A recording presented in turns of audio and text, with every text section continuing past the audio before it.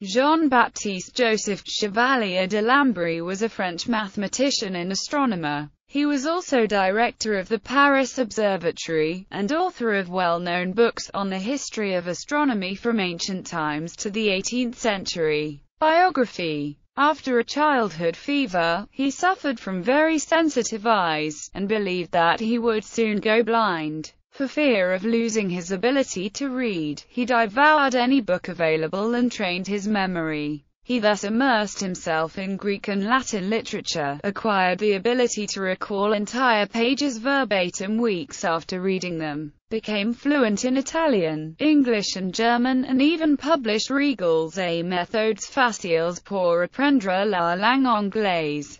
Delambre quickly achieved success in his career in astronomy, such that in 1788, he was elected a foreign member of the Royal Swedish Academy of Sciences. In 1790, in order to establish a universally accepted foundation for the definition of measures, the National Constituent Assembly asked the French Academy of Sciences to introduce a new unit of measurement. The academics decided on the meter, defined as one ten-millionth of the distance from the North Pole to the equator, and prepared to organize an expedition to measure the length of the meridian arc between Dunkirk and Barcelona. This portion of the meridian, which also passes through Paris, was to serve as the basis for the length of the quarter meridian, connecting the North Pole with the equator. In April 1791, the Academy's Metric Commission confided this mission to Jean-Dominique de Cassini, Adrien Marie Legendre and Pierre Mechain.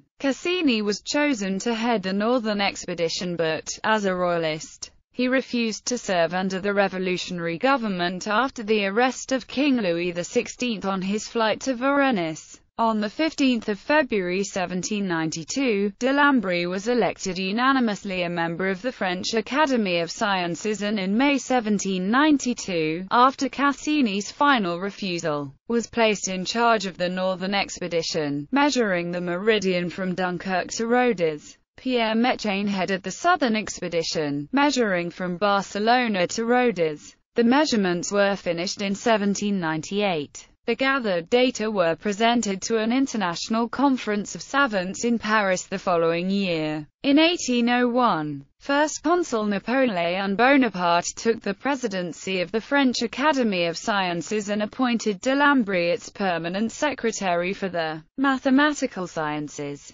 a post he held until his death. After Mechain's death in 1804, he was appointed director of the Paris Observatory. He was also professor of astronomy at the Collège de France. The same year he married Elizabeth Aglaé Leblanc de Pomard, a widow with whom he had lived already for a long time. Her son, Achille Céacute Sar Charles de Pomard assisted Delambre on several occasions in his astronomical and geodetical surveys, notably the measuring of the baselines for the Meridian Survey, and the latitude definition for Paris in December 1799 which was presented to the Conference of Savants. Delambre was one of the first astronomers to derive astronomical equations from analytical formulas, was the author of Delambre's Analogies and, after the age of 70, also the author of works on the history of astronomy like the Histoire de l'astronomie. He was a Knight of the Order of St. Michael and of the Legion d'Honneur. His name is also one of the 72 names inscribed on the Eiffel Tower. He was elected a foreign honorary member of the American Academy of Arts and Sciences in 1822.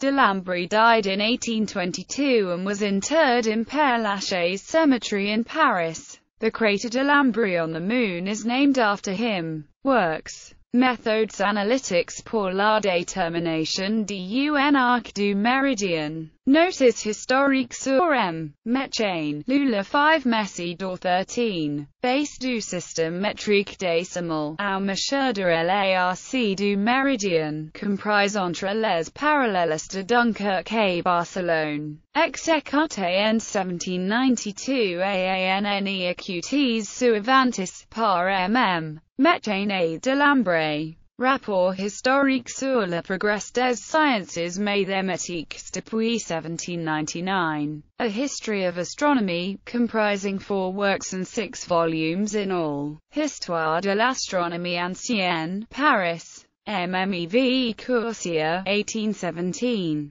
2 volumes, Volume 1, LXXII, 556 pp. 1 folded plate, Volume 2, VIII, 639 pp. 1, 16 folded plates. OCLC 490,232,972, reprinted by New York and London. Johnson Reprint Corporation, 1965, with a new preface by Otto Neugebauer. OCLC 648488. Text Online. Volume 1, Volume 2. Histoire de l'astronomie du Moyen Âge, Paris. MMEV Courcier, 1819. LXXXIV, 640 pp. 17 folded plates. OCLC 490,233,042, reprinted by New York and London. Johnson Reprint Corporation, 1965 OCLC 647,834, also reprinted by Paris.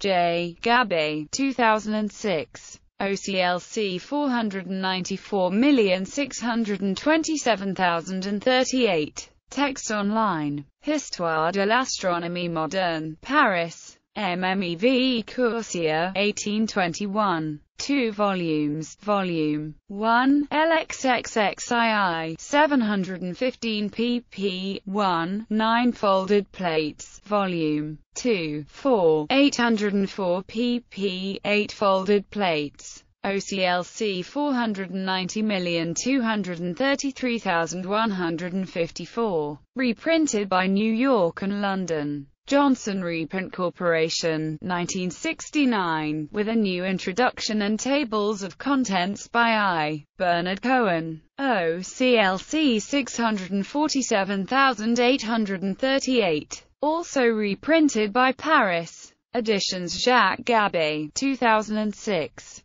OCLC 493,779,358. This takes the history to the 17th century. Text online. Both volumes, with usable plates. Volume 1, Volume 2. Histoire de l'astronomie au dix-huitième siècle, edited by Claude Louis Mathieu, Paris.